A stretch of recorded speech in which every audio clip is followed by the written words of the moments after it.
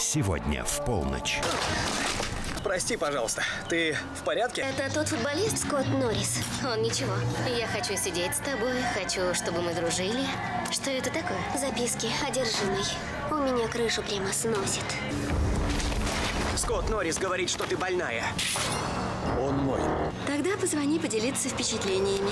Нормальные люди так не делают. Я ничего не могу с собой поделать. Не смей с ней так разговаривать. Грань между любовью и психозом танка.